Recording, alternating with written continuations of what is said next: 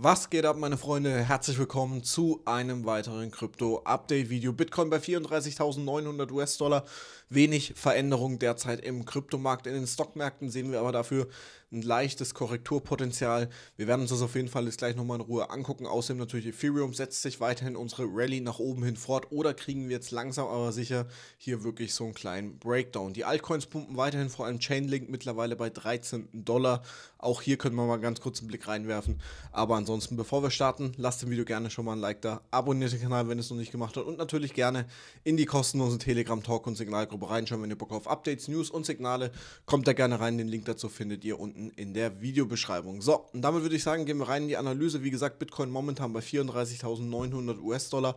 Wenig Veränderung. Wir befinden uns weiterhin in unserem aufsteigenden Kanal. Je nachdem, wie wir es ziehen, können wir auch natürlich sagen, okay, wir befinden uns hier in einem Ascending Triangle, also einem weiterhin bullischen Chart-Pattern. So sieht es momentan nämlich aus. Wir haben gestern leider keinen Pump mehr bekommen. Das heißt, wir sind nicht über dieser wichtigen Marke, wo wir gestern Morgen drüber gesprochen haben, also die Marke von 35.350 US-Dollar, nicht drüber geschlossen. Wir hatten nochmal einen kurzen Pump in Richtung 35.270. Das war es dann aber auch schon wieder und seitdem konsolidieren wir hier. Wir warten derzeit ein bisschen auf die Impulse, die kommen aber bisher nicht. Wir haben ja ich habe gestern schon gesagt, wir haben eine sehr, sehr ruhige Woche diese Woche. Keine wirklichen relevanten News, die auf uns zukommen. Ich sage jetzt mal, im Nahen Osten ist ein bisschen ruhiger, auch wenn es ein bisschen äh, schlimmer geworden ist, aber newstechnisch ein bisschen schlimmer, äh, ruhiger geworden ist. Wenn wir uns mal einen Dollar ganz kurz angucken, leichte Erholung derzeit. Das spricht natürlich dann auch wieder ein bisschen für sinkende Märkte und das sehen wir jetzt auch derzeit ein bisschen an den Stockmärkten. Dow Jones äh, geht ein bisschen runter. NDX kämpft noch ein bisschen hier und den Support. Die Futures hingegen sind schon wieder ein bisschen weiter unten und der DAX vor allem hat etwas nachgelassen. Und das ist schon mal gut für die Trades, zumindest die derzeit laufen. DAX Stop-Loss Entry bitte machen. NDX auch Stop-Loss Entry bitte machen. Dow Jones, wie gesagt, sind wir noch gar nicht drin, aber da wird wahrscheinlich auch im Laufe des Tages heute vielleicht nochmal ein kleines Signal folgen. Aber das hat natürlich dann auch wieder, wiederum Auswirkungen auf Krypto. Sollten die Märkte jetzt heute wirklich einen Drawdown kriegen, das heißt deutlich, deutlich nach unten hin absacken, ist es gut möglich, dass zumindest Bitcoin mal hier runter Richtung 34.500 US-Dollar geht und dann auf dem 4-Stunden-Chart unsere Trendlinie hier erst einmal testet. Die ist momentan noch intakt, daran hat sich nichts geändert. Volumen geht deutlich nach unten, RSI auf 50. Das heißt, wir nähern uns hier so langsam mal wieder einem neutralen Bereich was längerfristig oder mittelfristig dann zu einem weiteren Pump führen könnte.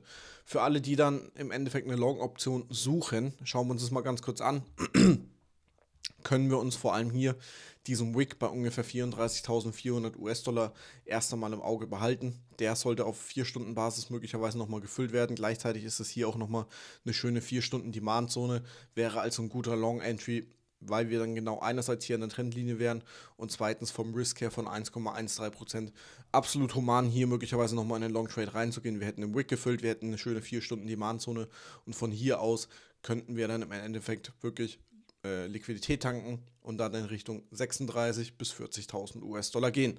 36, weil auf Daily-Sicht hier oben unser Rising Wedge besteht, das können wir uns auch nochmal ganz kurz angucken.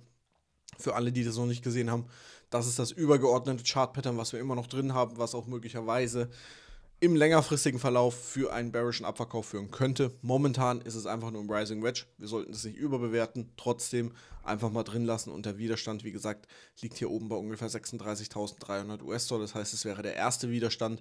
Fakeout ist natürlich möglich. Dann kommen unsere 37.000 bis 40.000 US-Dollar wieder in Gang. Also momentan ist noch nichts verloren, wenig Veränderung. Long-Position ist auf jeden Fall nochmal eine neue geplant für alle, die den Einstieg verpasst haben, einschließlich mir wäre das hier auf jeden Fall nochmal die kleine Möglichkeit dazu. Gehen wir jetzt nochmal rüber zu Ethereum. Hier sieht es momentan eigentlich weiterhin sehr, sehr gut aus. Wir haben gestern über die Möglichkeit gesprochen, sollte der Support hier nochmal bestätigt werden. Danach sieht es derzeit sogar ein bisschen aus, dass wir diese Range hier, die wir Bitcoin ja auch haben, nach oben hin bereits verlassen haben, bestätigt haben und jetzt hier ein bisschen rumkonsolidieren. Problematisch ist, dass wir noch kein höheres Hoch haben. Also wenn wir uns das mal auf einen 1-Stunden-Chart angucken, da hat es auch nicht funktioniert. Der Wick wurde gefischt, Schlusskurs war genau auf der gleichen Höhe. Das heißt, wir haben kein höheres Hoch gebildet und seitdem Konsolidierung. Also auch hier wartet der Markt wirklich auf neue Impulse, wartet darauf, ob wir es wirklich nach oben hin schaffen. Ansonsten gleiches Beispiel wie jetzt eben gerade bei Bitcoin. Möglichkeit, dass wir hier nochmal in Richtung 1850 US-Dollar gehen. Sehr, sehr groß. Liquidität tanken und von hier aus dann wirklich die 2000 US-Dollar Marke kurzfristig noch einmal anlaufen. Also auch hier bleibe ich weiterhin bullish, solange wir eben diesen äh, Support hier halten können. Brechen wir darunter mit einem 4-Stunden-Close, auch hier mal ganz kurzer Blick auf den 4-Stunden-Timeframe, passt auch schön mit dem Wick, brechen wir darunter, Ganz kurz auch nochmal äh, hier das FIP-Level vielleicht dazu anlegen, seht ihr auch, perfekte Confluence. Also brechen wir da drunter, bearish, dann ist es sehr, sehr gut möglich, dass wir nochmal die Unterkante eben dieser Range hier an, äh, antesten bei 1750 bis ungefähr 1740. So, und jetzt gehen wir nochmal ganz kurz rüber zu Chainlink, äh, auch mal ganz kurz auf den Chart. Und zwar war die Analyse etwas anders, zumindest wo wir auf dem Daily drüber gesprochen haben. Dass wir hier Komplikationen kriegen in dem Bereich der 12 Dollar, war absolut klar. Das haben wir hier auch dargestellt. Hätte dann sogar nochmal mit einem Rücksetzer gerechnet auf ungefähr 7 Dollar, sind aber jetzt nach oben hin durchgebrochen. Das heißt, nächstes Ziel sind jetzt hier oben ungefähr die 16 bis knapp 18 US-Dollar. Und sollten wir hier oben diese Marke erreichen, werde ich auf jeden Fall erste Profite nehmen. Wir haben sehr, sehr gut akkumuliert zwischen, ich sage jetzt mal 5 Dollar und 11 Dollar. Das heißt, wir haben hier einen guten Entry von 5,50 Dollar. 100% haben wir schon gemacht durch unsere DCA-Strategie. Wie gesagt, normalerweise nehme ich bei 100% immer äh, den Einsatz raus. Dieses Mal warte ich hier aber noch und werde dann erst hier zwischen 16 und 18 Dollar die ersten Profite nehmen. Warum? Weil mir die Chartstruktur momentan sehr, sehr gut gefällt. Natürlich, Volumen ist ein bisschen nach unten hingegangen, sollte man jetzt aber auch nicht überbewerten, weil das Momentum bei Chainlink sehr, sehr bullisch ist. Also Profite hier oben bei 16 Dollar werde ich dann nehmen. Nächste Einkaufkurse müssen wir dann nochmal eine Korrektur abwarten, sollte ich hier überhaupt nochmal nachkaufen, weil wir hatten hier eineinhalb Jahre wirklich Zeit, Chainlink zu akkumulieren. Ansonsten gibt es von meiner Seite aus wenig zu sagen. Ich kann euch nur nochmal äh, ans Herz legen, euch äh, dieses Video anzugucken, wilde Bitcoin-Theorie wo Bitcoin möglicherweise noch hin könnte, Vergleiche zu 18, 19. Schaut euch das gerne an. Und ansonsten äh, war es das von meiner Seite für heute. Vielleicht, ja, ich weiß noch nicht, vielleicht schon ich heute erstmal noch ein bisschen meine Stimme. Man hört, es geht langsam aufwärts, aber top ist es noch nicht. Ansonsten äh, würde ich sagen, hören wir uns auf jeden Fall morgen früh wieder. Like da lassen, Abo da lassen, Telegram-Gruppe joinen und ja, dann wünsche ich euch einen schönen, entspannten Tag und ja, lasst es euch gut gehen. Bis dahin, ciao, ciao und wie immer.